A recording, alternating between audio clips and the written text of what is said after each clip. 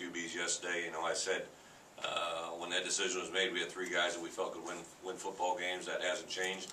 If the first two weeks, if anything had happened with Danny, um, you know, like in the middle of a series, either by injury or by just you know a situation that came up, a loss of a helmet, we had to plan that. I mean, that's a different thing that you have to think about now. Um, it would probably have been Curt just because of a hostile environment on Oregon State, and then also just the first game against UNI. But uh, at halftime, just feeling where we're at, we want to give Joel a shot.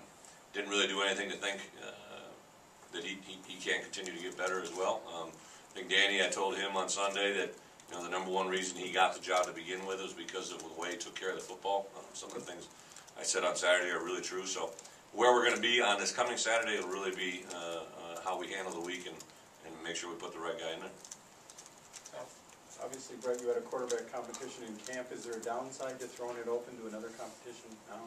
It's not really a competition. Um, I think we have a plan that we'll move forward with as coaches. Uh, it uh, is, isn't a, a thing that we're, you know, sitting and, wait, and, and wasting time on. It's a decision that was pretty clean. I think the decision to go with Joel in the second half took about five seconds uh, when I finally was with my coaches face to face on Saturday and, and went with it and ran and obviously uh, to get a win. Uh, now, did we play well on all phases? No, uh, on offense, but you know, there's definitely some indications that uh, things were, were moving in the right direction from where we were a week ago to, uh, to, to this past Saturday. You mentioned, you know, Joel's playing the second half, but Matt said yesterday that you guys didn't ask him to do too much Correct. given the circumstance.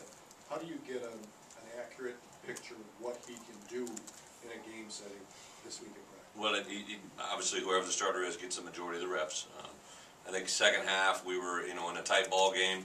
Uh, even you know the, the the way the offense took the field the first time was different than maybe we had envisioned it. You know, it was a short punt. We get the ball in a plus 50.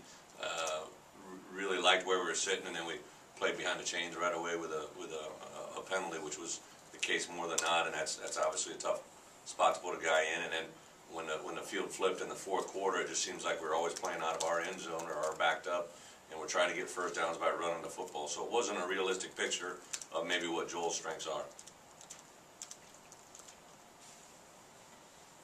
What, what would you detail, even though you haven't seen him in a game, what his strengths are? Well, I think any of the quarterbacks, and actually I sat and visited with them all on Sunday, would admit that, you know, Joel might have the best arm out of all of them, um, just strength-wise, uh, ability to throw the football. He's got great composure. Um, I think the one thing you can count on with Joel is what you call and what you um, expect a play to see and the reactions that you would have to get from a quarterback, whether it's pre-snap reads, uh, whether it's, you know, reads within the play.